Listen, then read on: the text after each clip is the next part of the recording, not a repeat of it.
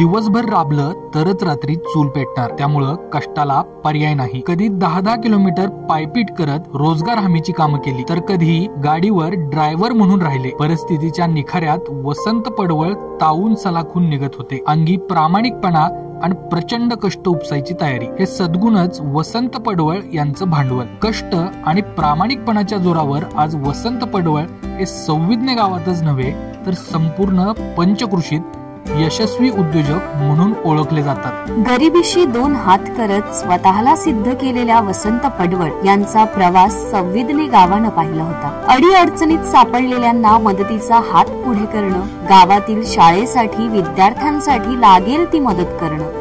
अशी समाज कल्याणाची कामं पडवळ करत होते. यातूनच गावच्या ग्रामस्थांनी वसंत पडवळ यांना ग्रामपंचायत निवडणुकीत विजयी करत त्यांच्यावर विश्वास टाकला. दोन हजार सतरा मध्ये वसंत पडवळ यांना सरपंच पदाची संधी मिळाली. यानंतर खोळंबलेली कामं वेगाने पुढे सरकू लागली. गावचा आरसा असलेल्या ग्रामपंचायतीचं काम अनेक वर्षांपासून खोळंबलेलं. वसंत पडवळ यांनी याबाबत पाठपुरावा करत निधी खेचून आणला. आज संविज्ञ या गावात ग्रामपंचायत कार्यालय दिमाखात उभा आहे. खाली बहुउद्देशीय सभागृह तर पहिल्या मजल्यावर ग्रामपंचायत कार्यालय अशी देखणी इमारत आज उभी आहे.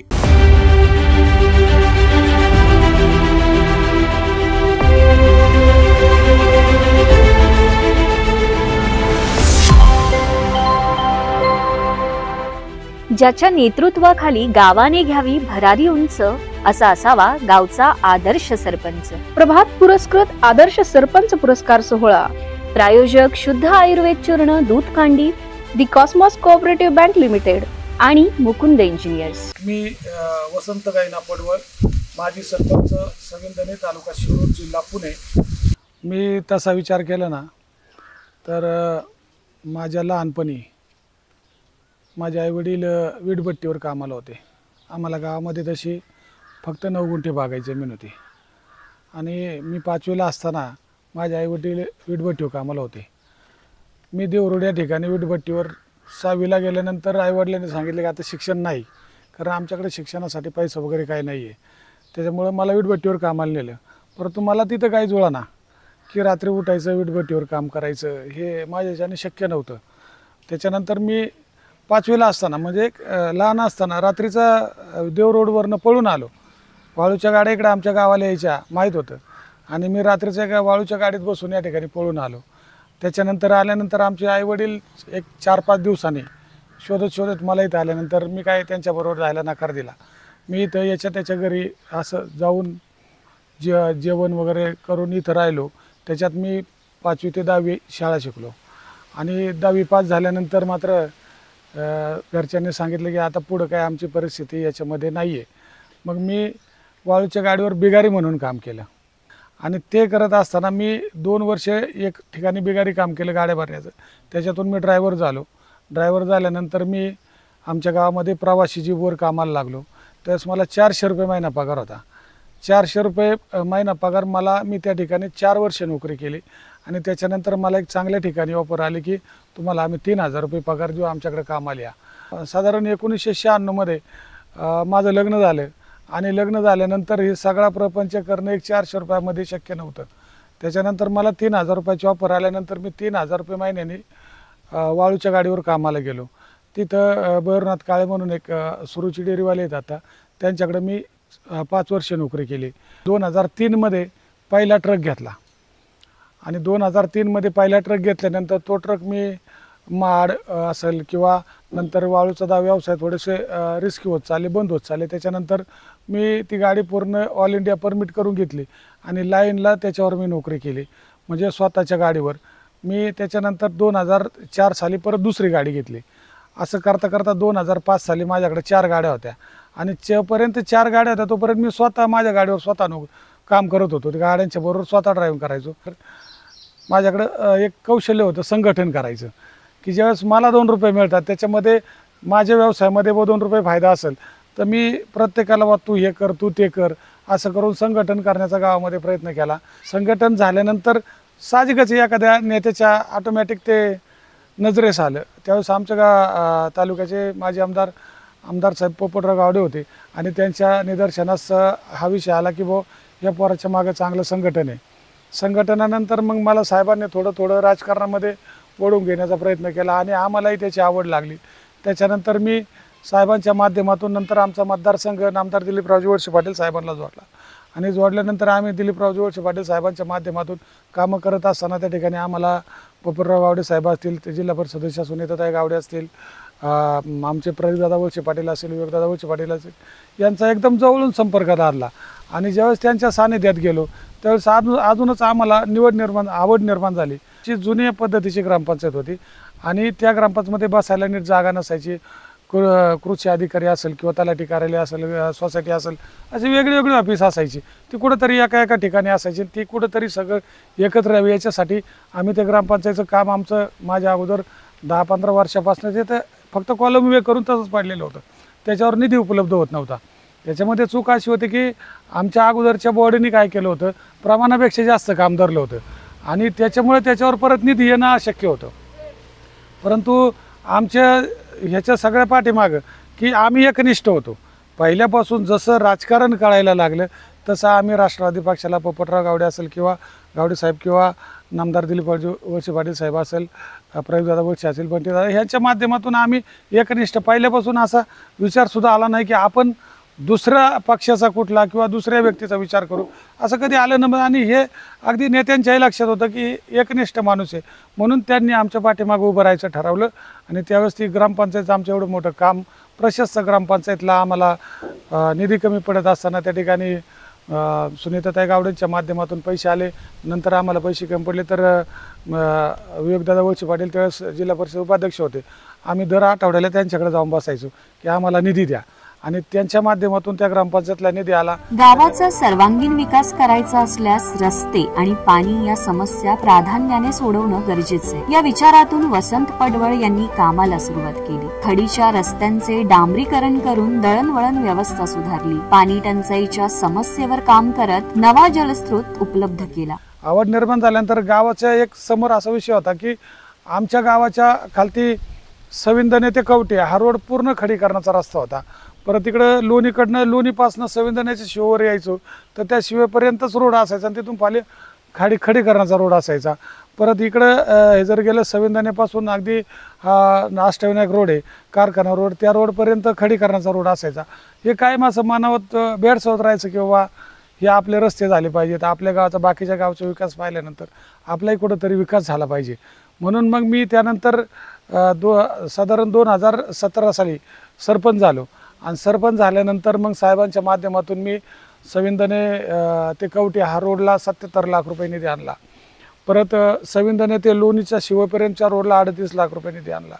परत इकडून सविंदने ते कानोर म्यासाई रोडला एक आपला सविंदने ते कानोर म्यासाई रोडला साडेचार कोटी रुपये आले. त्याच्यानंतर सविंदने ते अष्टविनायक रोडला दहा लाख रुपये टाकले. म्हणजे पूर्ण पहिले गावाचे आणि गावच्या लोकांची गरज काय? तर पहिलं रस्ता आणि पाणी ह्या दोन गोष्टीवर जास्त फोकस केला. तर आमच्या गावामध्ये एकच पाण्याची विहीर होती तिला पाणी नसायचं. तर मग त्याच्यानंतर मी आल्यानंतर आम्ही दुसरी विहीर इथं खोदली आणि तिला चांगलं पाणी लागलं. तिच्या माध्यमातून आम्ही पूर्ण गावाला चांगल्या पद्धतीचा पाणी पुरवठा देण्याचा प्रयत्न केला गावातील स्मशानभूमीचा प्रश्न गंभीर होता. दुःखाच्या प्रसंगी गावकऱ्यांना बसण्यासाठी चांगली सोय असावी. अंत्यविधी पार पडत असताना कोणतीही अडचण येऊ नये. यासाठी स्मशानभूमीचं काम हाती घेण्यात आलं. स्मशानभूमी परिसरात वृक्षारोपण करून या परिसराचं सुशोभीकरण करण्यात आलं. स्मशानभूमीची अशी पडझड झालेली कुठंतरी लोक बसायची काय? त्यानंतर पहिलं नंतर स्मशानभूमीवर फोकस केला की बाबा आपण कुठंतरी या गावामध्ये लोकांनी एक आकर्षक स्मशानभूमी झाली पाहिजे. म्हणून त्या ठिकाणी सुनीताताई गावडेंनी आम्हाला एकदम सुरुवातीला सात लाख रुपये दिले. परत बंटीदादांनी अ, पाटलांनी आम्हाला पाच लाख रुपये दिले. अशा माध्यमातून आम्ही अशी एक प्रशस्त स्मशानभूमी त्या ठिकाणी उभी केली. हे सर्व करत असताना पूर्ण कालावधीमध्ये दोनच वर्षाच्या कालावधीमध्ये आम्हाला एक तुम्हाला साधं उदाहरण सांगतो. एका वेळेस आम्ही ह्या ग्रामपंचायतला निधी मिळत नव्हता. आणि निधी मिळत नसताना आम्ही सात आठ वेळा ब विवेकवर्ष पाटलांकडे गेलो. गेल्यानंतर साहेब विवेकवर्ष पाटलांकडनं थोडंसं त्या ठिकाणी आम्हाला त्यांनाही बाकीच्या अडचणी असल्यामुळे निधी मिळत नसायचा. म्हणून मग मी शेवटी नामदार साहेबांच्या कानावर हा विषय घातला.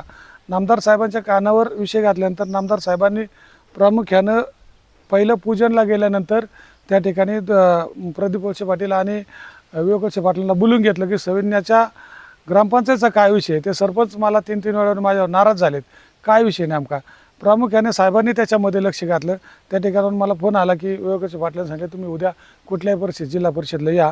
तुमचा त्या ठिकाणी विषय मार्गी लावला जाणार आम्ही दुसऱ्या ज्यावेळेस जिल्हा परिषदला गेलो एक अभिमानाची गोष्ट सांगतो. नेता कसा असावा? ज्यावेळेस आम्ही जिल्हा परिषदमध्ये त्यांच्याशी विचारमर्याय करीत होतो त्यावेळेस नामदार साहेबांचा फोन आला प्रदीपदादांना प्रदीप वळसे पाटलांना की सविन्याच्या ग्रामपंचायतीचं काय झालं?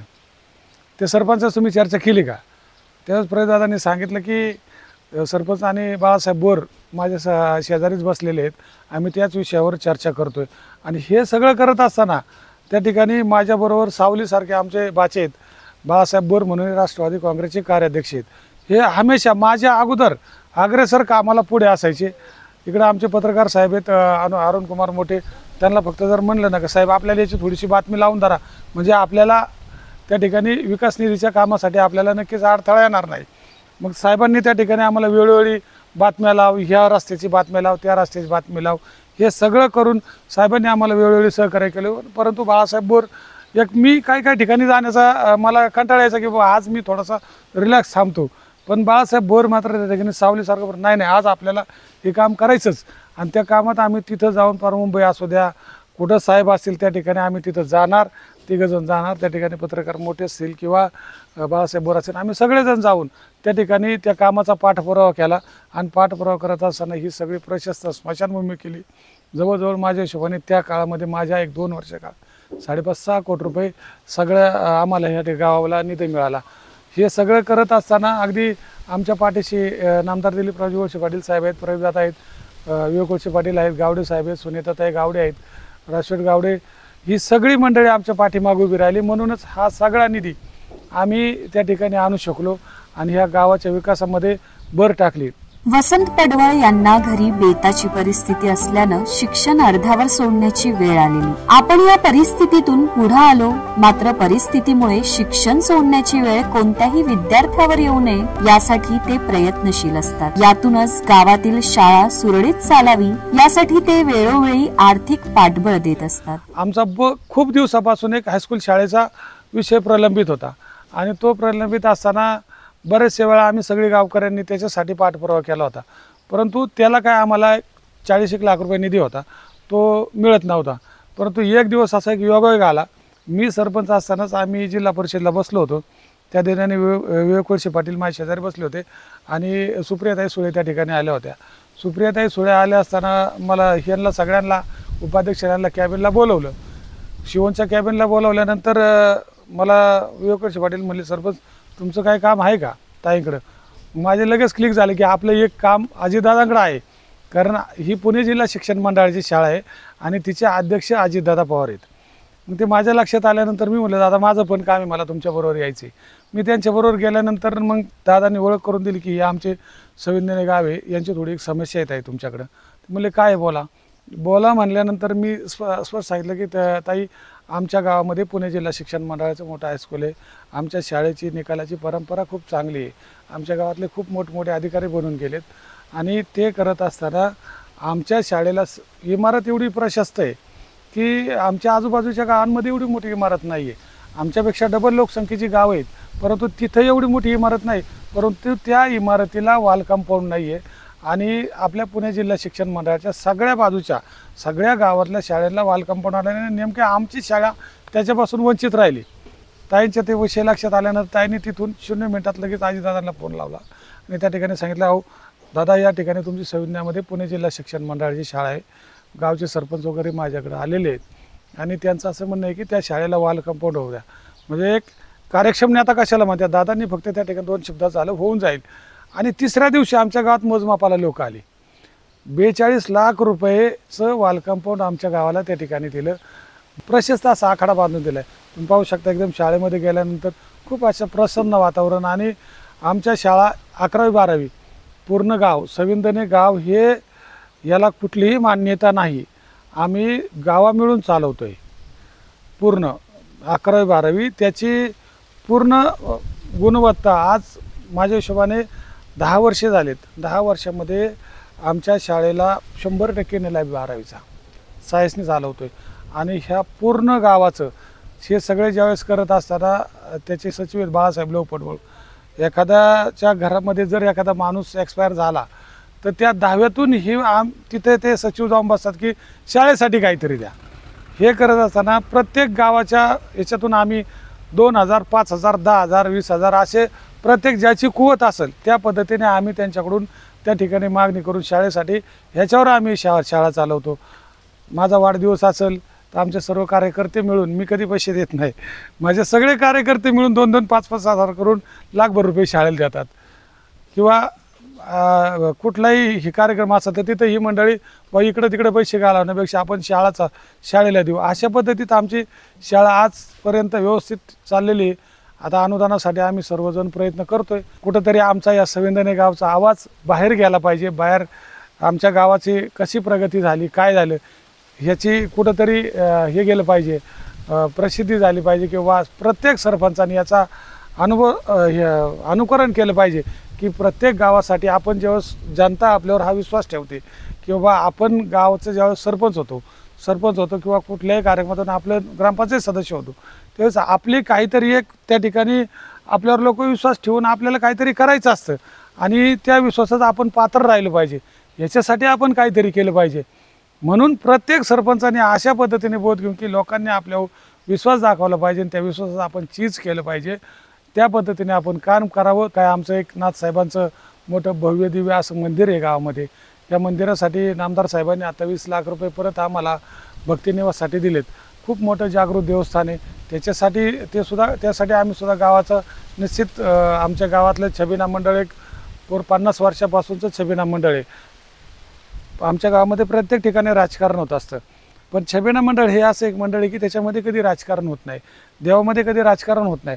प्रत्येकजण त्या देवाच्या कामामध्ये हिररेने उभा असतो आणि कोण काय बोलतो याच्याकडे लक्ष न देता सगळेजण देवाच्या कामात उभे राहतात. अशा पद्धतीचं आज एकजुटीने आमचं गाव सगळं चाललेलं आहे. इथून पुढेही राहील. धन्यवाद देतो आणि या ठिकाणी थांबतो.